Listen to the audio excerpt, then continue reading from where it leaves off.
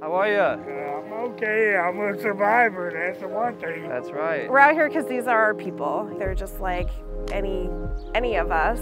They just um, have some extra barriers to accessing care that we're trying to break down for them. Welcome. My name is Brett Feldman. I'm the Director of Street Medicine at USC. Today we travel to Oakland, California, a city with a long and proud history of fighting against racism and for social justice. We'll join Dr. Jay Reichling and Lifelong Street Medicine to see how they've joined in that struggle for liberation with their weapon of choice being street medicine. This is the second of four videos brought to you by Invisible People and California Healthcare Foundation designed to bring our research on street medicine in California to life. Let's go check it out. Ryan. Thanks for having us. So we're really a, a registered nurse-led um, model of a program. So we have a full-time registered nurse, um, associate social worker, and community health worker on each team. And then our providers go out with each team three half days per week.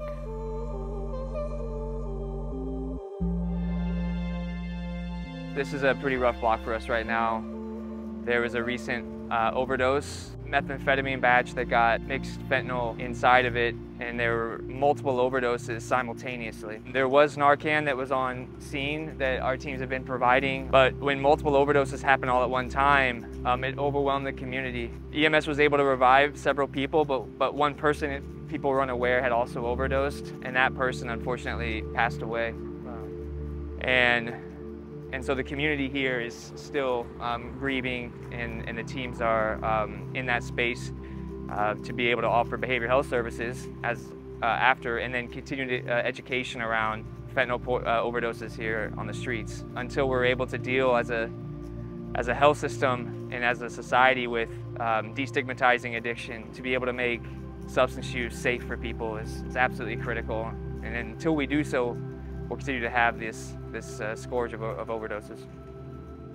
So, right here where we're standing at is where he was laying out. And we was unable to revive him. Paramedics unable to revive him. The streets are dangerous. Yes. You have to mind your health. Yeah. I've been homeless since January 3rd. Unfortunately, I had some uh, economical problems well, I came here 40 years ago to look for a job and found the job and was able to sustain myself all the way up until January 3rd. So that's 40 years and one month. Dr. J and I, we discussed some, some seriousness of my uh, choices I have made so that I won't end up like this gentleman. No, have you ever been hospitalized for anything? Your breathing's okay? Or you sometimes when you walk, you get labored breathing? Oh, yeah. When I'm walking, I get labored. Okay. Do you mind if I just take a look at your heart today? No. Okay. You just hop up here and I'll do an ultrasound, okay? Okay. What I want to do, right, is to make sure your heart's functioning. When people get swelling like this in their legs, I got to make sure the heart's functioning okay. All right? All right. Come around the side. Carl's someone who I've been seeing for a couple weeks. Uh, so far we've only been doing things like giving him food bags, hygiene products, things like that. These are what we call our light touch services. So they're addressing patients' felt needs and the most tangible things that we can give them to satisfy you know, an immediate need. Today, though, he finally decided it was time to address some of his health concerns with us. So when I took his blood pressure, it was super elevated. We were able to draw his labs right now. Uh, so those will be like a full panel to scope for, you know, sexually transmitted diseases, infectious disease, as well as our, you know, basic metabolic panels and kidney, liver function, things like that. Dr. J was able to perform a point of care ultrasound today, or POCUS, an echo, which allows us to test for things like congestive heart failure. And so that allows us to identify what this patient needs moving forward to ensure his health can stabilize or improve. For Carl, we'll see if maybe he wants to move into our medical respite program after a couple more visits, um, depending on what we see in his medical records when we get those from Kaiser later today. So this is our kind of storage room for all of our client supportive supplies. We have a ton of different types of items in here. Uh, we give out a lot of fire extinguishers for people who want to cook for themselves. We have cookware burners. So we have some of our harm reduction supplies over here. So we have uh, safe injection starter kits organized by needle size over here. Kits to test for fentanyl. These are all of our overdose rescue kits. So in each kit, they get two injectable nasal Narcans as well as two injectable naloxone uh, one milliliter vials. So we do both in each rescue kit because we don't know whose preference who's going to be using it. Um, you know, at the end, is it going to be yourself? Is it going to be your friend? We don't know what people's comfort levels are like with what, and people have different preferences, so that's why we include both. We do provide referrals and pathways for folks to get into treatment, but you know, first and foremost, we want to know, do you need anything to stay safe? You know, is there anything that you would like to change? How can we help you? Morning. How are you? All right, How long were you outside for? uh, probably about three or four years. Oh man, well, the way I was living, you know, I mean, I wasn't even paying attention. It was just a normal life to me. Yeah. I was on the drugs. I can get my drugs every day. Uh, once they came in, my life and just and helped me with uh, my medical needs and let me know it's more to life. You know what I mean? If I wanted to get help. Yeah. So you know, I've been clean now probably for uh, probably about four or five months. or however. I don't have to take the uh, the, the boxes and nothing no more. Okay. Left it alone Wow. Congratulations. with the help of them. Right. So, what do you think helped you make that switch? lifelong. I'm. Lifelong, I took the time out to listen when he was talking to me. You know, it, it didn't just happen that, that first day. You know what I mean? Like I said, they put me in a, uh, a um, hotel. I started taking my Suboxones. Had you been seeing a doctor before lifelong? No, How come? I was chasing drugs. It was all about drugs. Okay. You know, they are good people. Yeah. I promise. They are good at what they do. They know how to talk to people. You know what I mean? They Yeah. good.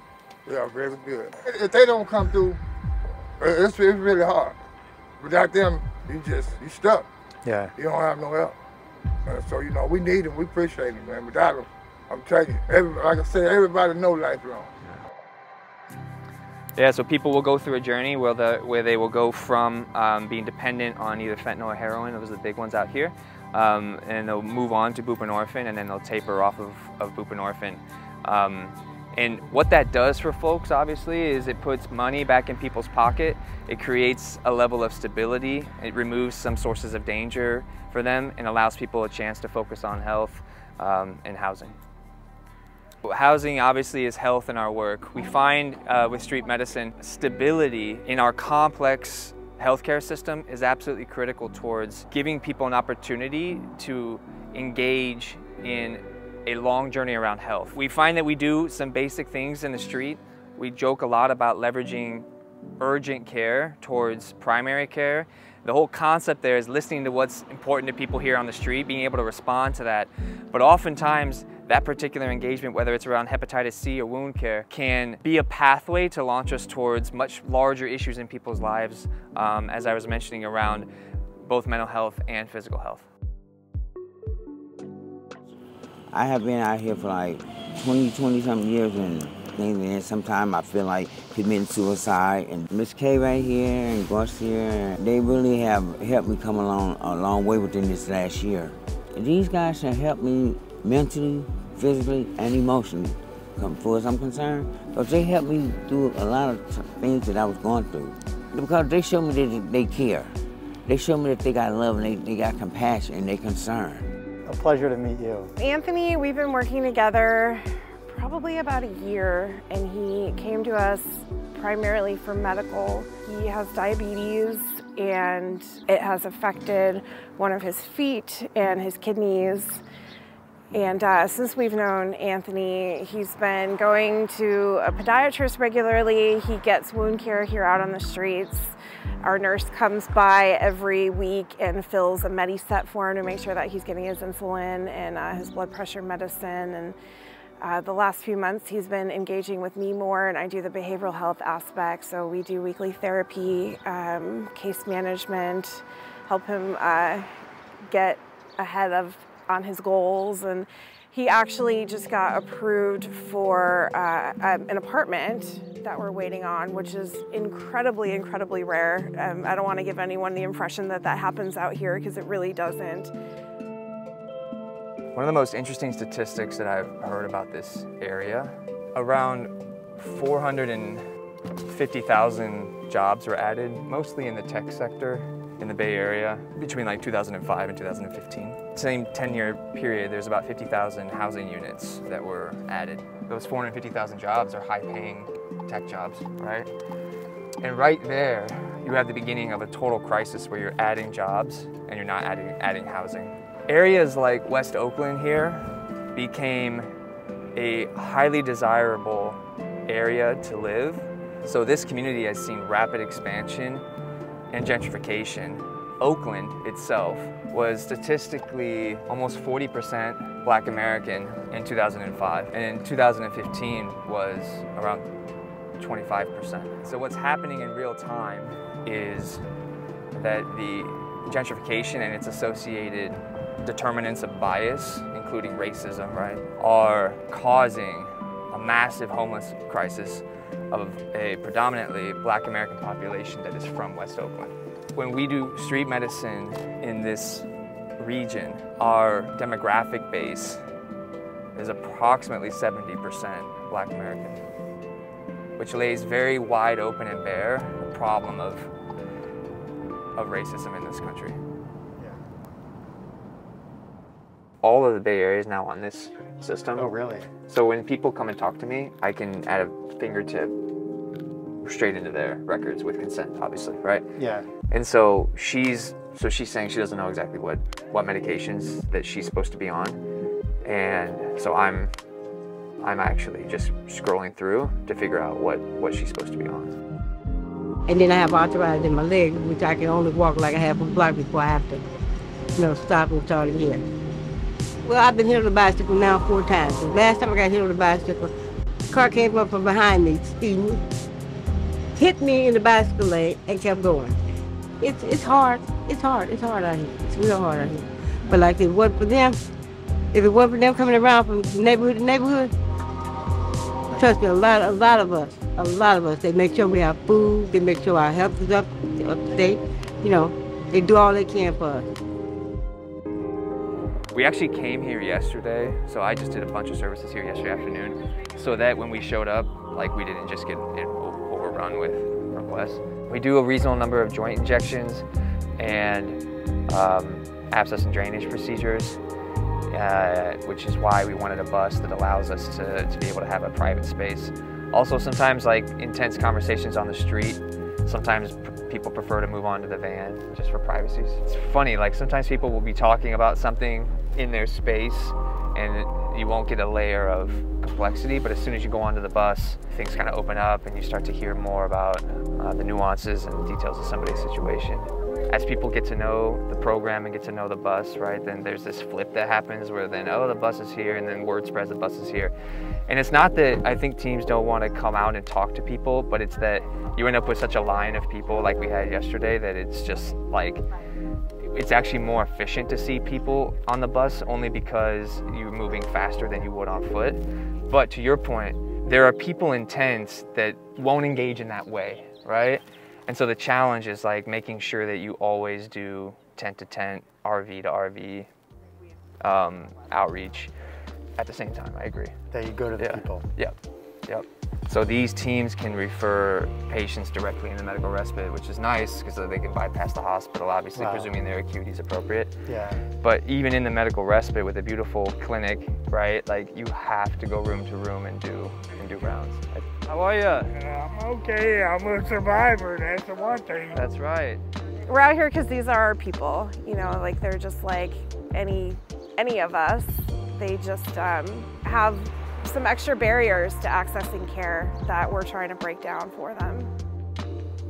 My own personal journey is around having been working in sub-Saharan Africa for a few years after residency. A friend told me about a street medicine job in Oakland, which was going to be a temporary thing for me to try and help out some of the most, what I found out to be some of the most marginalized populations in the United States. And long story short, um, I was shocked to find that some of the statistics around mortality um, with people who um, experience homelessness mirror those of some of the poorest places in the world, uh, right here in our own country, um, in one of the richest countries in the world.